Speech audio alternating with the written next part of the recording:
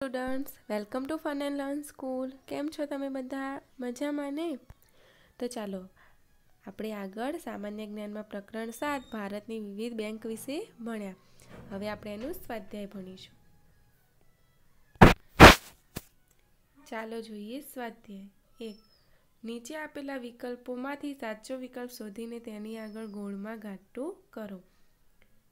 એક reserve bank of ઇન્ડિયાની સ્થાપના ક્યારે થઈ હતી? ઈસવીસન ઓગણીસો પાંત્રીસ. બે, રિઝર્વ બેંકનું રાષ્ટ્રીયકરણ ક્યારે કરવામાં આવ્યું હતું? ઈસવીસન ઓગણીસો ને ઓગણપચાસ. ત્રણ, રિઝર્વ બેંકના પ્રથમ ગવર્નર કોણ હતા? તો sir Osborne Arkell Smith. ચાર, રિઝર્વ બેંકના પ્રથમ ભારતીય ગવર્નર કોણ હતા? સીડી દેશમુખ.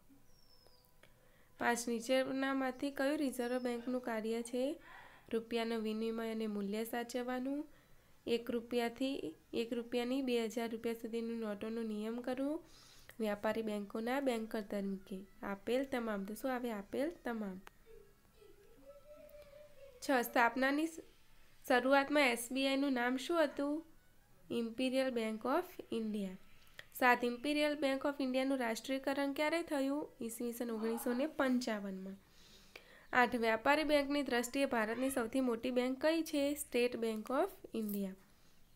નવ, ભારત સરકાર દ્વારા ઓગણીસ જુલાઈ ઓગણીસો ને ઓગણસિત્તેરના રોજ કેટલી બેંકોનું રાષ્ટ્રીયકરણ કરવામાં આવ્યું હતું? ચૌદ.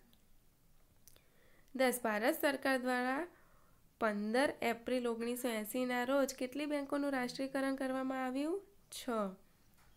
અગિયાર. વર્તમાનમાં આરબીઆઈના ગવર્નર કોણ છે? ઉર્જિત પટેલ. બાર. નીચેનામાંથી ખાનગી ક્ષેત્રની બેંક કઈ છે? આઈસીઆઈસીઆઈ, એચડીએફસી, બંધન બેંક આપેલ તમામ તો આપેલ તમામ. તો આ સ્વાધ્યાય તમારે તમારી બુકમાં લખી દેવાનું છે. ઓકે? બાય.